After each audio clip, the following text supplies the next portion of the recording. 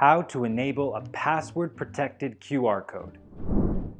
So QR codes save users time and resources by allowing them to view files, web pages, and other types of media easily by scanning a two-dimensional barcode with their mobile device. Now most of the time, the way we access the embedded information in a QR code is by scanning and tapping a command prompt, then we're led to the information we need. Now, this is ideal for when we share promotional content and public data. But what if we embed sensitive information in the QR code and want to only allow a few people to access it?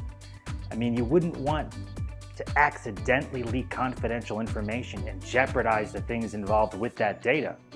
A QR code can be scanned by anyone, right? Technically, yes, but you can limit access to the embedded information in your QR code. So let me introduce you to a QR code feature that will help you with that worry. QR Tiger's password protection feature. So this feature is only applicable to dynamic QR codes. Once enabled, your QR code will have a password when someone scans it. Only the people who know the password would be able to access the information embedded in it. So how do you password protect your QR code?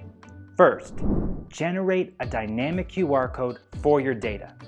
Then, go to your dashboard by clicking on My Account, identify the QR code that you want to password protect. Then, click on the password icon. Type in the text box the password you want to set.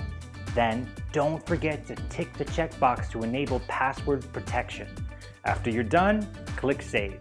To make sure that your file has been password protected, do a test scan.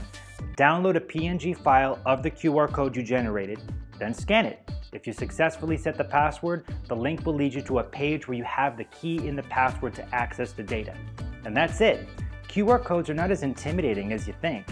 If you want to learn more about it, click the link to our blog website in the description box below. Please don't forget to like the video and hit that subscribe button for more updates. This has been David, and I'll see you in the next video.